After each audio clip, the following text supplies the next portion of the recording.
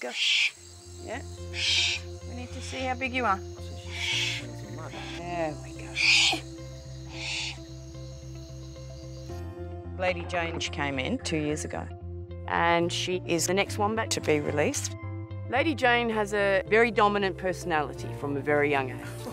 Lady Jane. She joined another four wombats who were all around the same age, and although Lady Jane was the smallest, she had the most pull amongst the five wombats. If she was eating and wanted space, she got it.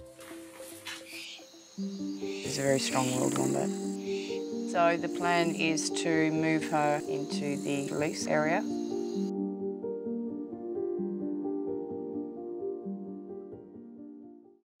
It's hard for Donna. She'd hang on to the whole lot if she could. She don't like seeing, seeing them go. They've got to go. That's what we're here for. The second chance.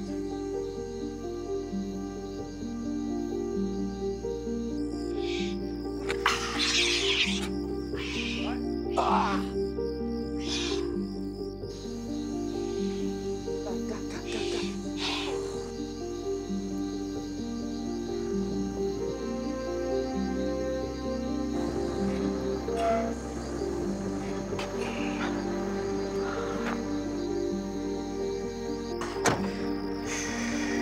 Good, puppy.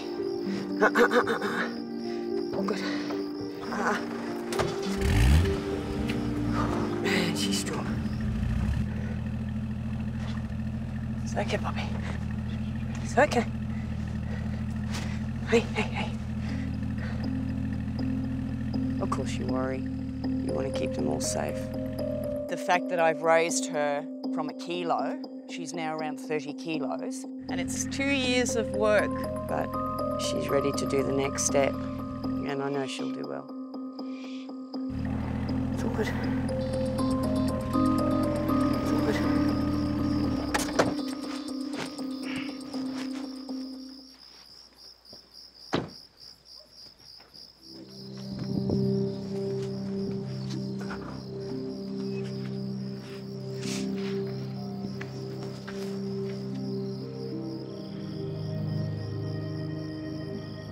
Baby girl.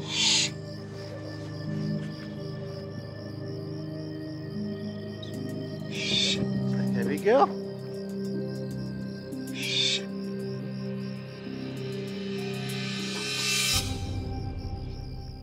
That's what we want. Good girl. She's gonna love it in here. Yeah, it's not bad. No. I, I see Lady Jane as being dominant. She's a take no prisoners type of wombat. That's the type of personality that she has. It does remind me of Veg. Hey, big girl. This is the beginning of life for them. I mean, this is what they live for. The bush like this. That's her first home. She can get out of that, oh, I reckon 15 minutes if she wanted to. But she gets to explore on her terms. She can test things out, but she can always come back there for safety. Feel like one fine, proud mother.